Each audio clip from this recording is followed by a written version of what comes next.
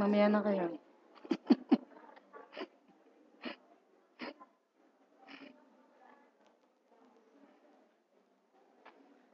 Okay, magandang hapon sa inyo lahat. Ngayong hapon, ating pong tatalakayin yung pagbabago ng ating buhay. Na kailangan na tayong mga nakay Kristo ay makita naman si Kristo. Kasi ako, number one na ako. Matagal na pa nung hindi nakita si Kristo sa buhay ko. Kasi ako'y nahihiya ipakita yung aking, sabihin kong ako'y born again. Nung ako'y nasa BOC, na ako'y pumasok sa munisipyo, born again na po ako. Pero hindi nila halata, hindi nila makita. Sa muka, sa salita, sa gawa, hindi makita. Kasi, nahihiya kasi nasa kasalanan. So, marami din sa atin, Kristiyano, ayaw sabihin siya'y born again. Paano? Nasa liko pa. Tama po ba? So, pwede po ba ilagay natin natin mga kamay sa ating puso? Sabihin natin to ng galing sa ating puso. Sabihin natin, Panginoong Yesus, baguhin mo ako. Tulungan mo ako. Magawa ko ang kalooban mo sa aking buhay. In Jesus' name, Amen. Okay, no? Totoo pong hindi natin kayang baguhin ang ating buhay, kaya kailangan po natin ang tulong ng Diyos. Ang anak mo, hindi mo yan kayang baguhin. Ako, hindi ko kayang baguhin ang sarili ko. Kayo din. Without the power of God, hindi po natin mababago ang ating sarili. Naniniwala po ba kayo doon? Totoo po ba yon? Amen. So, ang ating pong topic for today, transform into Christ-like or demon-like. Magbago Ayon sa wangis ni Kristo, o kung gusto mo, wangis ng demonyo.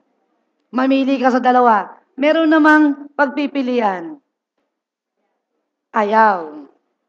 Amen? Sa so 2 Corinthians 5.17, ang sabi rito, Therefore, if anyone is in Christ, he is a new creation. All things have passed away. Behold, all things have become new.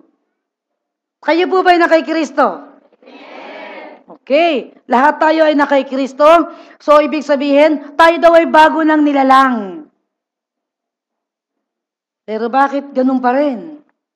Ang sabi rito, all things have passed away. Wala na raw yung mga dati natin. Dating manloloko, dating sinungaling, dating chismosa, no? Di ba? Dating sugarol. Puro dati. Ang sabi, wala na yan. Andyan pa ba yan? Ang sabi ko, ikaw ay na kay Kristo, ikaw ay bago na, wala na yung dati, all things have become new. Totoo ba yun? All things become new nung tinanggap ko lang si Kristo? Yes. Yes. Dahil ang sabi, because something added in you supernaturally. Nung tinanggap natin si Jesus, merong nadagdag sa buhay natin. Sino? Ang Espiritu ng Diyos. Wow! Sino nadagdag sa atin? Diyan sa likod, sino nadagdag sa inyo? The Holy Spirit. Kaya siguradong magbabago ka. Very powerful yung dinagdag sa buhay natin nung tinanggap natin si Jesus. At yun ang banal na Espiritu. Tanong, eh bakit hanggang ngayon hindi ako nagbabago? Hindi nyo ba na itatanong yon? Ako, ang tagal ko nagbago. Kasi hindi ko rin alam. Kasi meron palang dahilan. At yun ay sinabi ng Diyos. No? Ang sabi, gusto ko wag niyong kalimutan tong nadagdag sa buhay natin. Sabi mo, ang banal na Espiritu ay nakatira sa akin. Ito ang kanyang templo. Ito ay bahay niya. Okay, wag niyong kakalimutan yan. Merong nakatira. Diyos ang nakatira sa katawan natin. Amen? Kaya bigla tayong nabago. At hindi ikaw ang gumawa nun. Siya ang Diyos. Ang ginawa lang natin, tinanggap natin si Jesus. Kaya sabi, if you are in Christ, kung ikaw ay nakay Kristo na, tinanggap mo na siyang Lord and Savior, aba, bigating ka na. Bakit? Anak na ng Diyos eh. Hindi ka na anak ng nanay mo. Sa physical, anak ako ng nanay ko ni Aling Pitang, pero sa spiritual, ako'y anak ng Diyos. Ganon din kayo. Amen? Palakpakan nga natin ang Diyos. Praise the Lord. Ito pala ang dahilan, Romans 12.2. Kaya pala hindi tayo nagbabago. Ang tagal nating ginagawa ito. Ang sabi sa Romans 12.2, Huwag kayong makiayon sa takbo ng mundong ito. Eh nakikiayon tayo. Di ba? Atongit kayo, atongit din ako. Nakikiayon ka. At chismis ka, join ako. So, hindi ka lumalayo, umaayon ka. Ito pala ang dahilan. Ang sabi rito, mag-iba na kayo sa pamamagitan ng pagbabago ng inyong pag-iisip upang maunawaan daw natin ang kalooban ng Diyos kung ano ang mabuti, kalugod-lugod, ganap na kalooban niya. Ibig sabihin pala, hanggat tayo nakikiayon sa takbo ng mundong ito, eh ikaw ay new creation na. Meron ka ng Espiritu ng Diyos. Eh, ang mga taga-mundo ay Espiritu pa ng demonyo nasa kanila. Eh, nakikiayon ka. Nakikita niyo ba to? Kaya pala hindi ka nagbabago. Kaya pala ang tagal ko nagbago kasi nakikiayon ako sa mundo na puro may espiritu ng demonyo. Nakikijoin ako sa kanila. Ibig mo ba sabihin, hindi na ako makikisalamuha sa kanila? Hindi yun ang ibig ko sabihin. Doon sa ginagawa nilang masama, dapat hindi mo yung ginagawa. Amen? Maya na yan.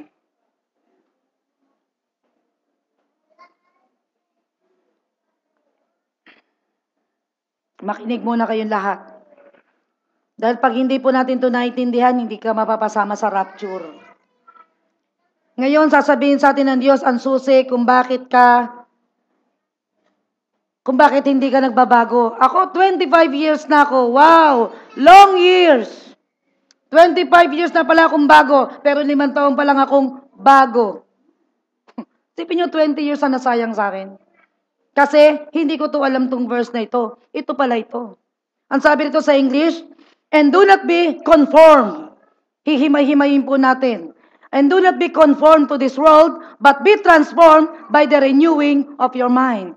So, okay, tingnan natin yung do not be conformed. Ano ba sabihin ng huwag kang umayon? Do not be conformed. Ang sabi nito sa Greek word, sukes matizo. Ang ibig sabihin, to shape one thing into the image of another. Outward expression does not reflect what is really inside. Ibig sabihin, ang nasa loob natin, sino? Si Holy Spirit. Pero ang, na, ang nakikita sa labas, hindi yung ugali ng Diyos. Pero ang Diyos ang nakatira sa loob. Nakukuha niyo ba ibig sabihin? Si Holy Spirit nasa loob. Nakatira. Pero outward expression natin, hindi makita born again. Ako, tagal kong di sinabing born again ako. Bakit? Naiya ako eh. Pero Espiritu ng Diyos nasa akin. Bakit? Kasi nag-e-enjoy ako sa mundo. Nag-e-enjoy ako sa sanlibutan. Na hindi ko pala alam, ito palang sanlibutan na to ay hindi pala dapat tayo. Ang sabi rito, do not.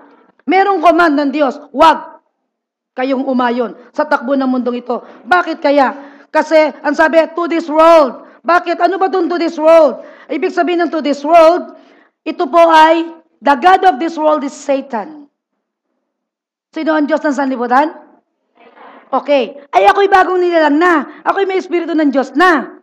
Eh, nakikiayon ngayon ako dito sa sanlibutan. Eh, ang Diyos nyo pala ay si Satanas. Kaya pala hindi ka magbabago.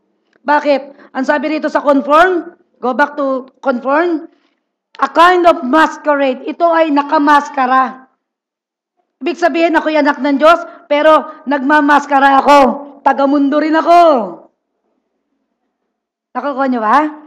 Kapag, kapag wala akong nakikita ang kristyano, wala pastor, walang born again dito, ha, inuman tayo. Hindi ako born again. Tuwing ko lang ako born again. See? Kaya hindi ka magbabago. Patuloy kang umaayon sa takbo ng mundong ito na, na ang nagahari, na ang Diyos dito ay si Satanas. Eh, ang Diyos mo si Kristo. Ikaw'y bago nang nilalang. Holy Spirit ang nasa iyo. Bago ang taga-sanlibutan ng evil spirit, eh nakikijoin ka. So ano mangyayari sa iyo? Hindi ka magbabago. Ang sabi ng Panginoon, we are in this world but we are not of the world. Tayo daw ay nasa sanlibutan, pero hindi tayo taga rito. Tayo po'y taga langit. Amen! Wow! So hindi natin dapat ginagawa ang ginagawa ng mundo. Kasi ang, ang sanlibutan po, ito po ay sistema ng demonyo. Kaya makikita nyo, eleksyon, dayaan, normal na yan. Di ba? Kasi sistema ng demonyo ang, ang kumikilos dito. At ka-join pang maraming Kristiyano. Kasama tayo doon. Di ba? Ang sabi ni Pablo, kung ikaw ay nagmamaskara, it must stop. Tigilan mo yung pagmamaskara mo. Ikaw ay kristyano bago nagmamaskara ka ng maskara ng demonyo. Kaya nga may Halloween. Di ba nagmamaskara ng demonyo? It should not be. It must stop. Ikaw ay anak ng Diyos. Kailangan yung glory ng Diyos, yung, yung Christ-likeness ay nasa iyo. Nasa atin. Makita sa mukha, makita sa pananalita, makita sa pananamit. Si Kristo. Hindi ka lagi nakashort. Lagi ka nagpapakita ng hita. Yun ang takbo ng sanlibutan. Dapat hindi ka ganun. Di po ba? Ang sabi, huwag. Ang Diyos po nagsasata, huwag kang umayon sa takbo ng sanlibutan ito. Mapapahama ka anak. Pag minahal mo ang sanlibutan, eh ang Diyos dyan si Satanas, mapapasama ka sa mga hakatulan. Yan ang dadanas ng puot ng Diyos. Kaya tayo po ay pinagsasabihan ng Diyos ngayon, huwag. Kung sila nagbibingo araw-araw, hindi ka dapat nakikibingo. Amen? Ang gumagawa lang po niya ni taga-sanlibutan. Sasabihin ng mga iba, diversion lang yan. Naglilibang-libang lang naman ako eh. Wala akong magawa. Hindi yan dapat sa'yo. Kasi, ang sabi, if anyone is in Christ, you are new.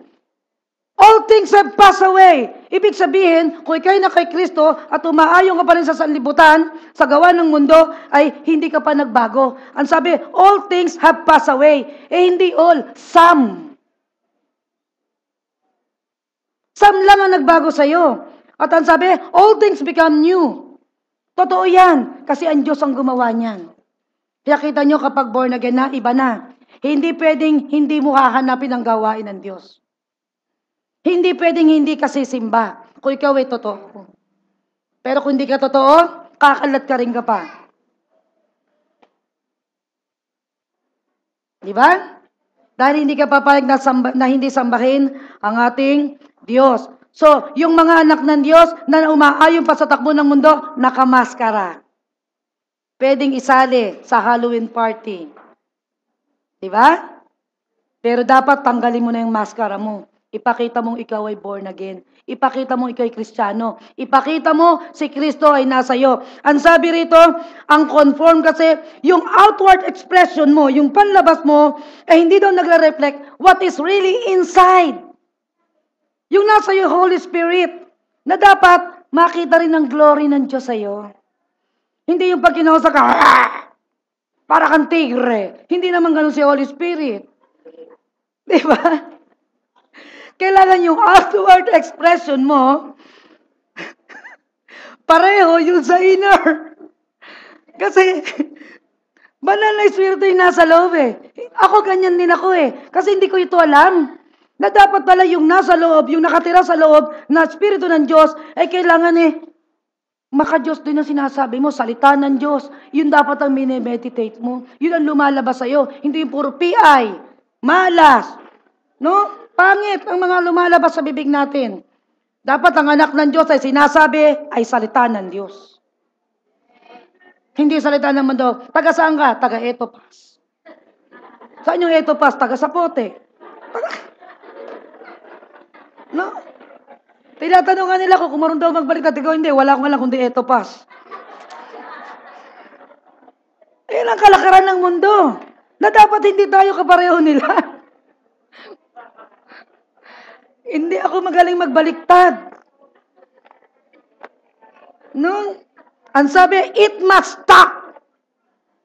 Tanggalin mo na yung maskara mo, ipakita mo, anak ka ng Diyos. That you're a born-again Christian. Are you? Amen. Amen. Palakpakan natin ng Diyos. No? So, ang Greek word po ng conform ay schematic.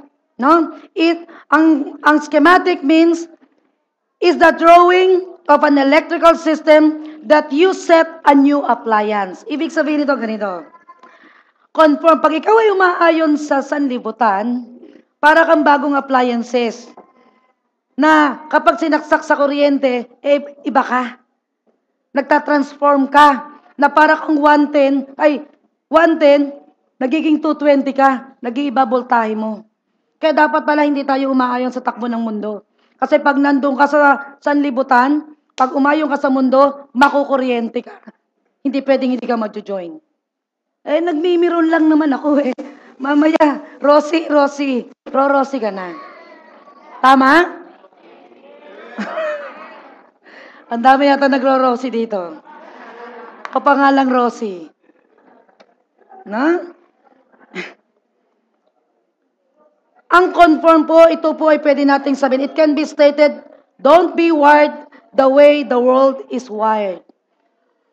Ang sanlibutan po, yun talaga ang, kanyang, ang kanilang gawi eh. Hindi mo sila pwedeng sitahin doon. Taga-mundo sila eh. Tayo po, pinili ng Diyos mula sa mundo. Di ba napakapalad natin?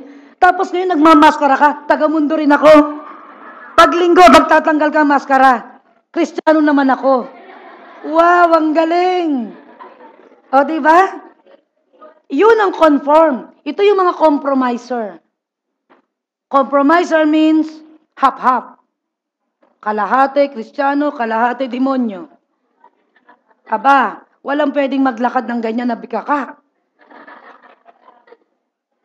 Di ba? So, kailangan natin, ang sabi, don't have the same response system and the same values. Don't let the world shape you, but let Jesus transform you. Ito dapat ang mangyayari sa atin. Kaya natin baguhin tayo ni Jesus. How? Paano ba yun? Ang hirap. Totoong mahirap pag hindi mo alam. Pero madali lang pala. Lagi ka lang palang mananalangin.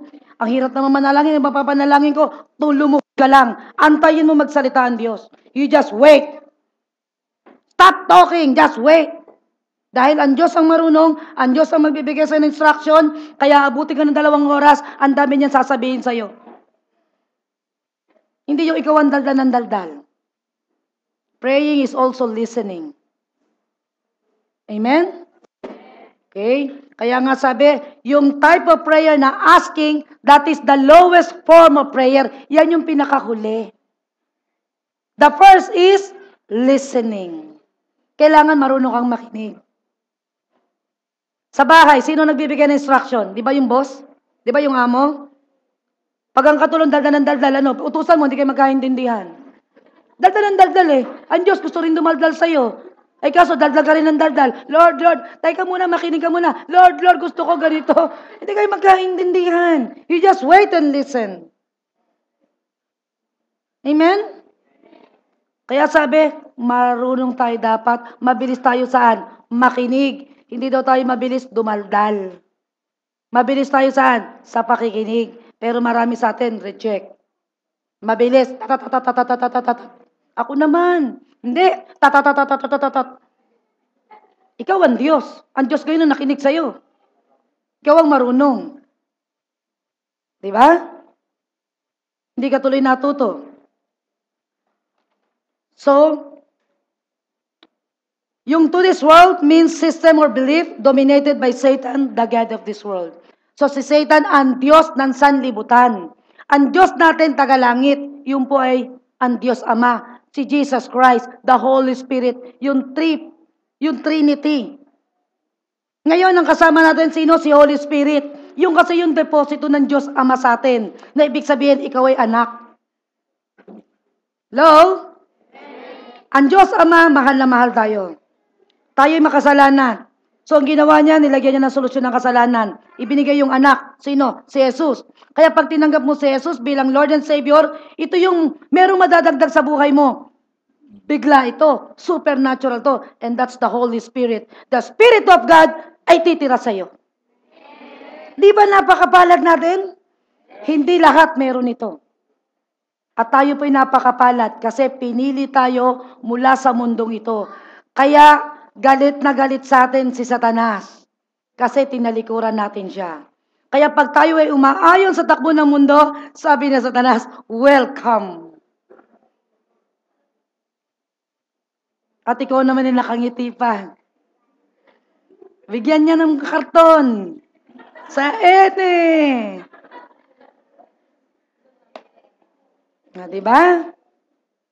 Hindi tayo dapat sumasabay doon. Kasi iba ang Diyos ng sanlibutan, iba ang Diyos natin. Amen? Okay. So, transform. Pumunta tayo dito sa transform. Do not be conformed, but be transformed. Huwag daw tayong umayon sa sanlibutan ito, pero dapat daw tayo ano, magbago. Sa English, transform.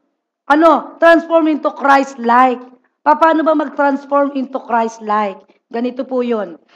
Ang Greek word ng transform is metamorphosis. Ibig sabihin, ito ay caterpillar. Ang caterpillar magiging butterfly. Bawa, ito yung caterpillar. Alam naman natin yung uod. No? Pag mature na yung uod, magiging butterfly na siya. Ito tayo, dati tayong uod. Na ngayon, pag nasa na si Kristo, kailangan butterfly ka na. Lumilipad ka na bulaklak at ang paru-paro, lumilipad-lipad, ilan ang pinupuntahan sa isang araw? I think 400 to 600 flowers. At ang uod, kinakain pala nito ay dahon. Ang bulaklak, ay ang, ang, ang butterfly, ang kinakain ay bulaklak. So magkaiba na to ng food. Ibig sabihin, pag adult na, kailangan karne na kinakain mo. Di ba? So, Meron dapat makita outside change. Ito yung ibig sabihin ng transform. To become what you really are on the inside. Ulit, sa Tagalog. Dapat daw, ang ibig sabihin ng transform, kung ano yung nasa iyo, yung Holy Spirit, yun daw ang makita panlabas sa'yo. Na tong caterpillar na to, dapat makita butterfly. Yun talaga siya. Ganon tayo. Tayo, ako si Susan, pero hindi na ako si Susan. In the inside, meron akong Holy Spirit. I am a child of God. At kaya ako'y lumilipad na, kaya ako evangelist na. Lumilipad na, nagba-Bible study na. Ay yung mga uod. Hindi pa. No? Guma ano pa kinakain? Gumagapang pa kayo. Hindi kayo makausad. Kailangan po sa atin maging butterfly. Kaya sabi, transform means metamorphosis. Kailangan merong makita outside change. Hindi lang sa loob ka nagbago. Kailangan yung nasa loob mo makita sa panlabas. Alam nyo ba ang opposite ito? Yung hypocrisy, yung mga hipokrita. Alam nyo ba yung mga hipokrita? Masama ang mga ugali niyan sa loob. Pero sa panlabas, nakangiti yan. Yun ang kabaliktaran ng transform. Opposite ito. Hindi, hindi niya pinakikita yung totoo niya at yung panlabas niya iba. Pero ang transform na sinasabi rito, kung ano yung nasa loob mo, ikaw ay anak ng Diyos, yung espiritu mo is saved. Kailangan pati itong mukha mo, yung kilos mo, kailangan nag-a-agree sila. Pareha sila. Di ba? Makita sa atin, hindi naman yung mukha kang anghel. Nagkukunwari ka na nun. Di ba? Kaya yun yung hypocrisy. Ang dami palang ginagawang kalokohan, pero pag may kaharap, ang bait-bait. Hindi naman pala totoo. Ang tawag doon ay hypocrisy. Amen? So yung transform sa electronics, para madali natin maintindihan, ito ay, di ba transform, ilagay natin sa transformer. Para maintindihan mo yung transform na yung kuryente na 110, usually yung mga nanggagaling na gamit sa Japan, hindi magamit dito sa atin, di ba? So gagamit ka ng transformer. Para magamit mo, lagay mo sa 220. Ganun tayo dapat. Tayo yung 110. Na kailangan ka mag-transform ito, volt ng 220. That's because of the Holy Spirit na nakatira sa iyo. Meron supernatural. Merong power of God na nasa iyo inside. Andyan yan. Hindi lang lumalabas. Kasi patuloy tayong umaayong pa sa takbo ng mundong ito na hindi na dapat. Ang sabi ng Panginoon, ano, dapat tayo lumayo, tumalikod sa kasalanan. Huwag ka laging nakaharap.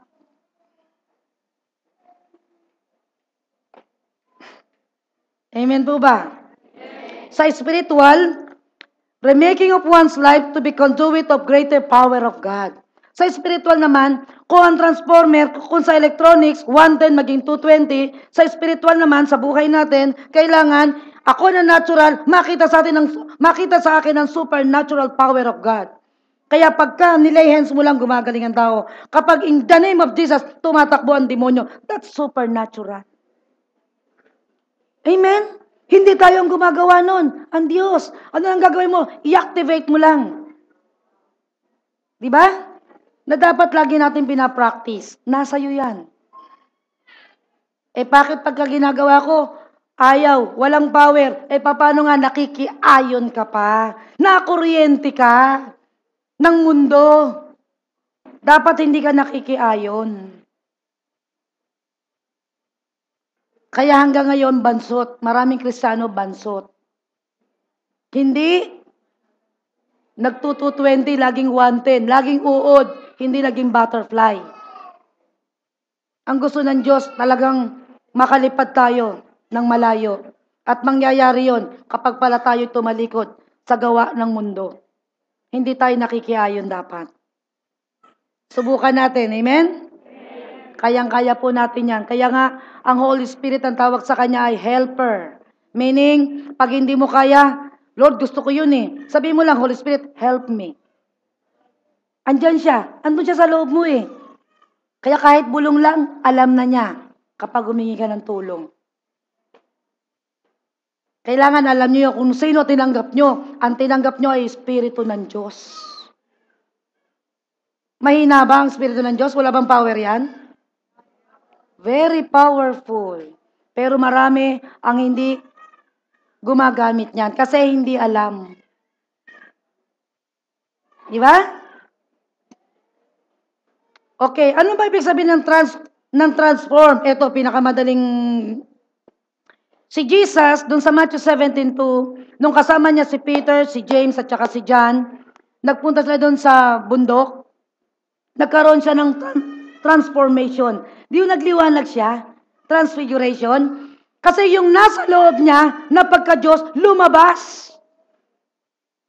Na dapat pala ganun na nangyayari sa atin na dapat pala sa atin, yung Holy Spirit na nasa loob, lumabas. Dinemonstrate ni Jesus kung paano nagkaroon ng transfiguration. Nasaan siya? Nasa taas ng bundok. Anong ginawa nila sa bundok? Sigurado nag-pray. Kaya pag ang tao lagi nagpe-pray, nagkakaroon ng transfiguration. Alam nyo, naranasan ko to eh. Nung lagi kong ginagawa eh, nagpe-pray ako ng umaga. Tapos bumabalik ako ng alas 9 ng umaga uli sa kwarto. Kasama ko si Tia Norma. Pero nangyari sa buhay ko to nung ako'y bat-bat ng problema. Alam niyo ba nangyari sa akin? Maraming tao nagsabi sa akin ito. Susan, hindi ako makatingin sa'yo. Nagliliwanag ka. Meaning, totoo pala to at nangyari sa buhay ko. Ang daming hindi makalapit sa akin sa munisipyo, umiiwas. Bakit? Nasisilaw. Nagtuturo ako sa Bible study, nagtatago sa ilalim ng silya, nasisilaw. Alam nyo lang ginagawa ko noon? Nagpe-pray ako. Twice pa lang yun, ha? Lalo na kung gagawin kong thrice. Si Jesus kaya siguro nagbago dahil pumalik siya ng bundok para mag-pray. Oh! Meaning, we must pray. Amen? Para lumabas yung glory ng Lord. Kasi ganito yon, di ka? Limawa siya yung Diyos, ano? At lagi ako nagpe-pray sa Kanya. Yung glory niya, habang nagpe-pray ako, tumatagal ako ng tigil sa presensya niya, yung kapangyarihan niya, sumasalin sa akin yun. Masalin sa akin yun. Pansinin niyo si Moses. No? Si Moses, 40 days saan? Sa Mount of Sinai. Pagbaba niya, ano sabi ng mga highlights? Hindi nila makita mukha ni Moses, liliwanag. Di ba? Tapos, nung, nung matagal siya sa bundok, eto, maganda. Gumano mo siya. Nag-cover ng mukha. Bakit? Alam nyo ba kasi nawawala yung liwanag? Bakit nawala? Kasi wala na siya sa presensya. Ibig sabihin, kung gusto mong lumakita ang glory ng Diyos sa buhay mo, keep on praying. Magstay ka sa presence ng Lord. At yung presensya niya, yung glory niya, masasalin sa iyo. At ang demonyo, pag nakita ka, nagtatakbuhan yan. Pero pag nagbabad ka sa bingguan, ang demonyo, ang bilis lumapit sa iyo. So, piliin mo kung saan ka bababad. Sa presensya o sa sugalan. Kung hindi ka magbababat sa presensya, pasensya ka. May iwan ka. Di ba? So, kailangan nating mag-transform na para yung cartoons na transformer, talagang makikita, nagtatransform sila, nagbabago sila. Di ba? At alam nyo ba na hindi lang sa hindi lang sa panahon ni Jesus yung mga Kristiyano ang nagbabago? Alam nyo bang parehong-pareho to sa sa other side? Pansinin nyo yung demonyo. Pag ikaw ay puspos ng demonyo, JC, pag ikaw ay puspos ng demonyo, No? Makikita rin sa'yo. Magmamanifest din sa'yo. Kilala niyo ba si Genevieve? Ayan, si Genevieve. Tingnan niyo. Kapag puspos ka ng demonyo, tingnan niyo mukha. No? Yung nasa loob niya, ayan, nakatingin na sa inyo. Yan na. Yon. Kita niyo na? Yan ang sinasabi kong transform. Kung ano yung nasa loob niya na tikbalang, yun ang lumalabas outside. Demon light. Nakita nyo? Ganon din sa Diyos. Kita nyo? Cut. Pinakita ko lang sa inyo kung ano yung transform. Na kung ikaw din ay babad na babad din sa presensya ng demonyo, magta-transform din ang mukha mo. Meron pa ako isang kilala, si Charlie. At ito ay durugista. Alam nyo nangyayari sa kanya? nagiging wolf naman siya. Big sabihin, pareho pala. Sa demonyo at sa Diyos pareho. Pag ikaw eh, demonyo-demonyo, magta-transform ka rin. Kaya kita niyo yung mga mangkukulam at meron din akong kilala. Pwede kong sabihin, si Atiglo ang pangalan. Nung minsan ako pumunta sa bahay nila, siya pala yung nagre-ritual. At katok ako ng katok, hindi ko siya tinigilan. Pagbaba, natakot ako kasi nakataas ang kilay, nakataas ang buhok. Ay, ba't ganyan ang mukha mo?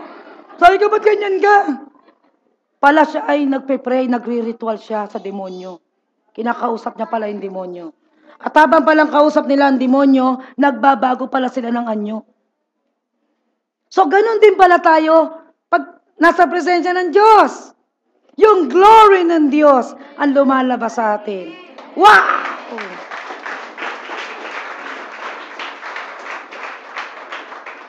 So pumili ka kung ano gusto mong maging. Katulad ng demonyo o katulad ng Diyos. Amen. No? Kitang-kita natin yan at kasama natin. And I praise the Lord kasi she was totally delivered. Ba? Napakabuti ng Diyos. Kasi nung tinanggap niya si Jesus Christ as Lord and Savior, she became new creation. Kaya nawala yon. Di ba? Napakasarap ng nasa Panginoon.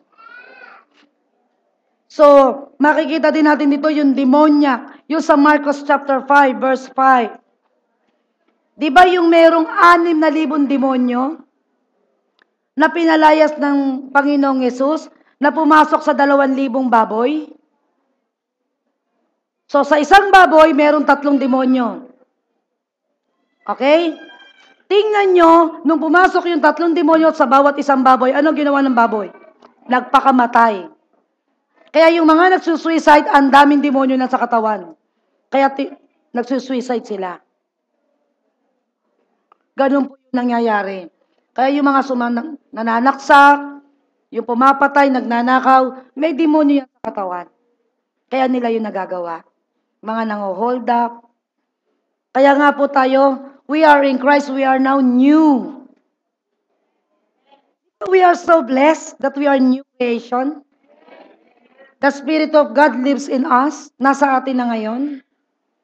Na dating, alam nyo ba nung hindi pa natin tinatanggap si Jesus Christ, evil spirit ang nakatira sa atin. At nung tinanggap natin si Jesus, exit si evil spirit, pasok ngayon si Holy Spirit.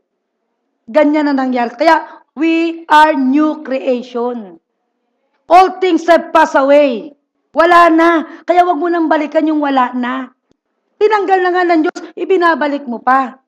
Pero pag hindi mo to alam, balik ka talaga ng balik. Kasi hindi mo alam niloloko ka ng demonyo. Kasi ang gusto ng demonyo, umalis ka uli kay Jesus. At ang gagawin sa'yo, attract. Attraction. Hindi ka hihilahin ng demonyo. Ang gagawin sa'yo, ikaw ay aakitin. Pre, dito ka. Malaki kita rito. Aakitin ka. Sa malaking kita, pero illegal. Magbigay ka lang ng shaburon, may 50 ka na, easy money.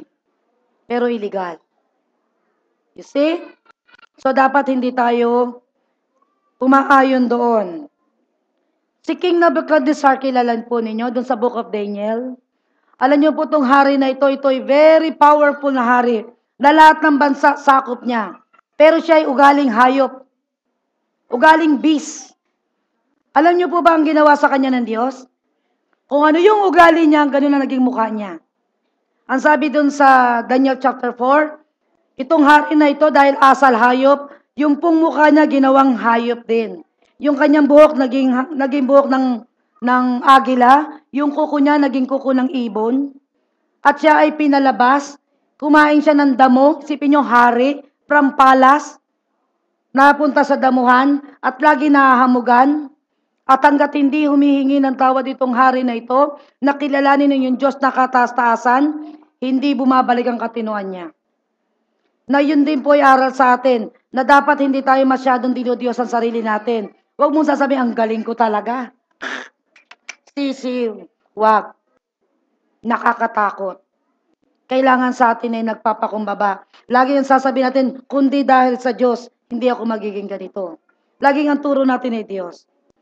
Kundi dahil sa Diyos, hindi ako makakapangaral. Kundi sa Diyos, hindi ako magbabago. Kundi sa Diyos, hindi makakapag-aral ang mga anak ko. Laging sa Diyos. Amen? Sa Kanya lahat galing. Amen? Kaya, binigyan niya ng aral tong hari na ito. Asal hayop, ginawa siyang mukhang hayop. Nag-transform din outside ang kanyang ugali. Amen? So, hindi lang pala ikaw ay nasa demonyo. Kapag ikaw ay, ang ugali mo ay asal hayop, ang mukha mo, mukhang hayop din.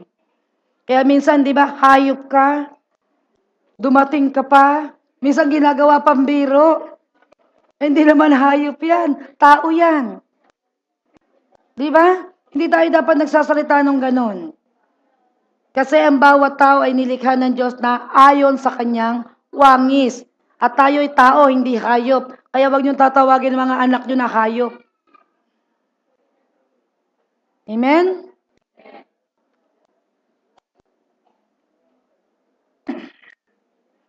Transform. So tapos na tayo sa transform. Dito naman to sa renewing of mind. Ang sabi, di ba? And do not conform with this world, but be transformed by the renewing of your mind. Ano ba yung renewing of your mind? Pakipakita nga. Yung Romans 12.2. Para alam nila kung nasa na sila. Romans 12.2.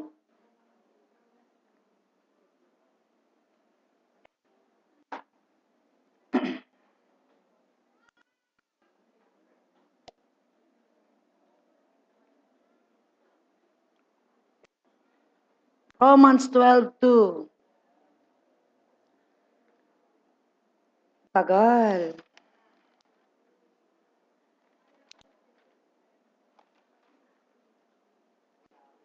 Ayan.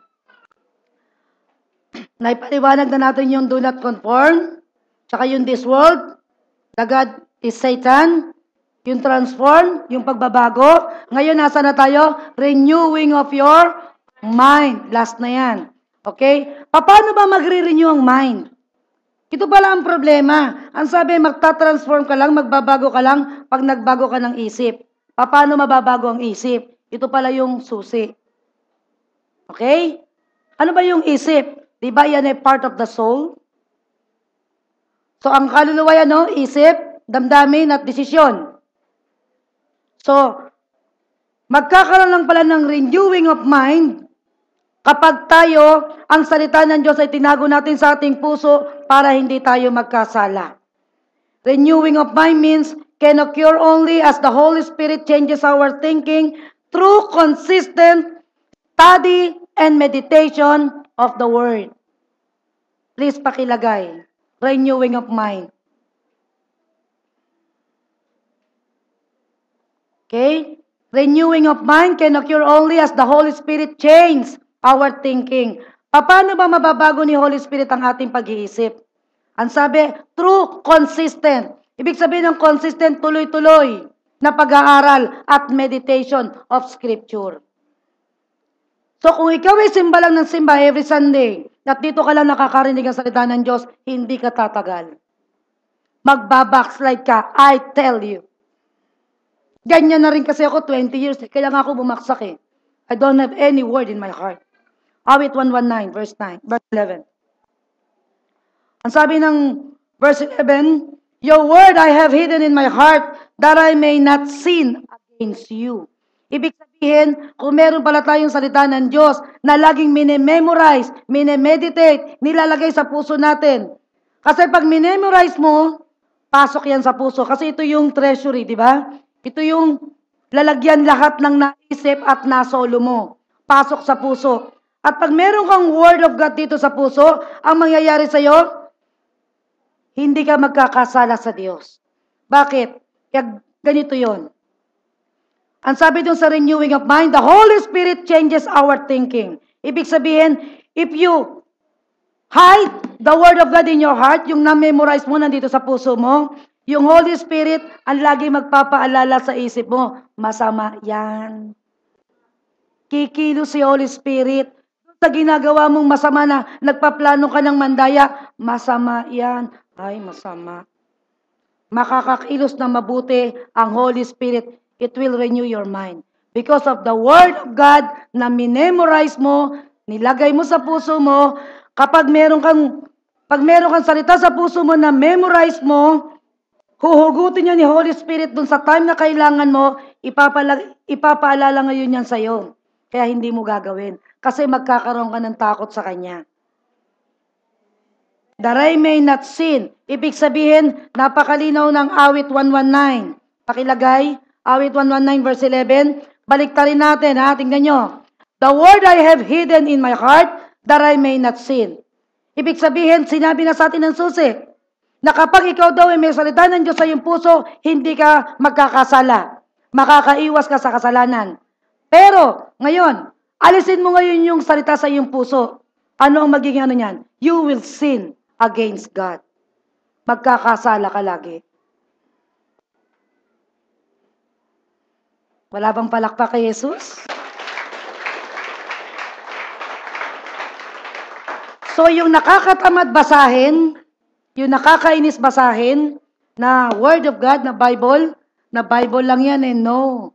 Ito yung mag-aalis sa'yo sa kasalanan para magkaroon ka ng takot gumawa ng kasalanan. Kapag ito'y binabasa mo, lagi, consistent. Consistent means every day, day and night, you will read. At magkakaroon ka ng takot gumawa ng kasalanan. Amen? Sino rito hindi nagbabasa? Marami. Kaya yon laglag. Kaya lagi nagkakasala. Lagi kang backslide.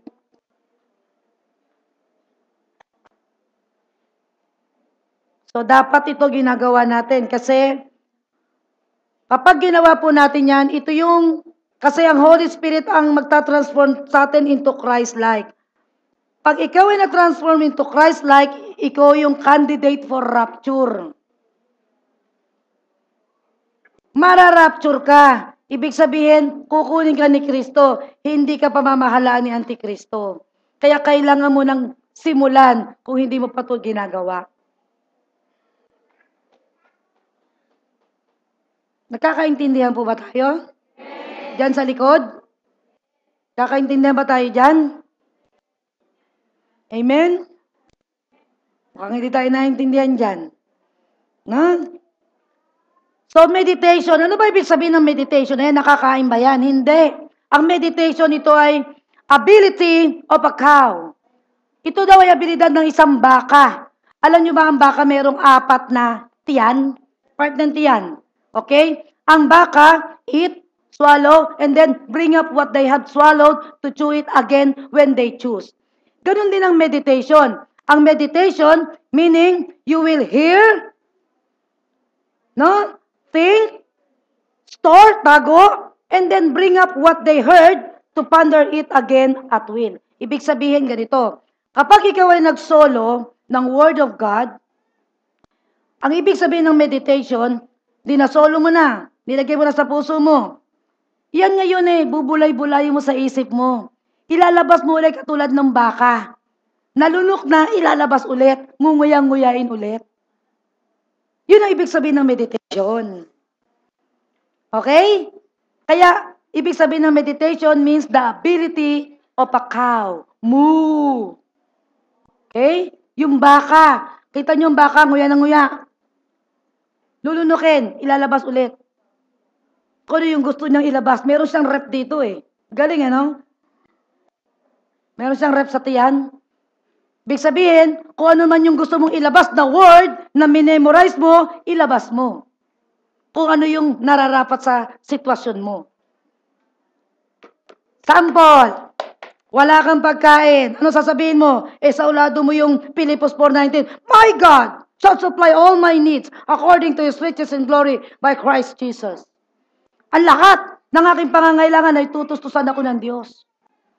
Eh kung di mo alam yan, saan kayo ginatustos? Sa nanay mo. Sabi, my God. My God. Okay? Wala kang kapayapaan, nangihina ka. Awit 46.1 My God is my strength and my refuge. He is my very present help in times of trouble. Nasa kaguluhan ka, i-recite mo yan, pakawalan mo, yung minemorize mo dito, at yung word na yan, alam niyo bang kikilos ang Diyos according to His word? Hindi siya kikilos outside of His word. Kaya pag hindi mo alam yung word, candidate ka na hindi ka mararapture. Kaya kailangan po natin talaga yung Bible. Mga bata, magbasa kayo ng Bible. Amen? Hindi pwedeng, wala akong time eh. Eh, sige. Pag wala na si Kristo, baka pag may time ka, pag wala ng church. Matatapos po ang church, I tell you. Pag nat- pagka nag-rapture, wala ng church, huwag na kayo pupunta rito. Dahil, pat, dahil kung ako'y maiiwan, hindi na rin ako pwede magturo dahil bawal yung kay Antikristo. Dahil ang tinuturo natin ay si Kristo. Kaya wala na. Kaya samantalahin natin hanggat wala pa siya. Amen? Praise the Lord. Kaya nga sabi ng Joshua 1.8, The book of the law. What is book of the law? Ito yon.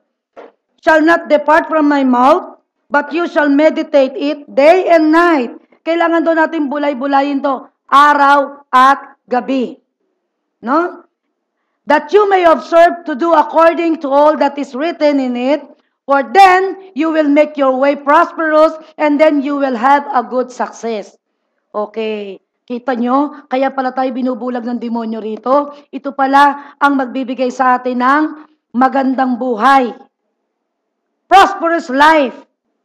At lahat daw ng ating gagawin, tama. Kapag nakaayon dito. Eh bakit hindi? Eh salita niya to. Hindi to salita ni Presidente. Salita to ng Diyos. Proven na magtatagumpay ka. Praise the Lord. So kapag ginawa po natin yan, magkakaroon tayo ng transformation. Magiging Christ-like tayo. Kita niyo yung mga kulto. Meron silang mini-meditate. Sinosolo po nila yon. Nakalagay pala dito yun sa mga daliri nila. Kasi meron ako naging tao rito. Andito sa daliri nila. Hindi nila masolo-solo, ginaganyan nila. Mini-meditate nila. At bago sila nagkakaroon ng transformation. The same. Kasi laging nanggagaya si Satan. Kaya pag ang mini-meditate mo yung salita ni Satan, usually Latin, yan, magta-transform ka. Medyo kakapal ang kilay mo, no? Medyo lalabas ang pangil mo, lalabas na yung buntot mo, ando na yung mahahati yung katawan mo, lilipad ka na. Diba? Hindi dapat ganun. So, 1 Corinthians 15.51, ito na yung last transformation natin. Na kapag ikaw ay naging Christ-like, nagawa mo ito, yung ikaw ay nagme-meditate lagi, ito ang mangyayari sa'yo. 1 Corinthians 15.51, last verse. Listen, sabi ni Pablo, makinig kayo, I tell you a mystery. We will not all sleep. Ibig sabihin, we will not all die. Hindi daw tayo lahat namamatay. But we will all be transformed. Parang transformer. Magiging Christ-like tayo on the day of rapture. Ang rapture parang ganito.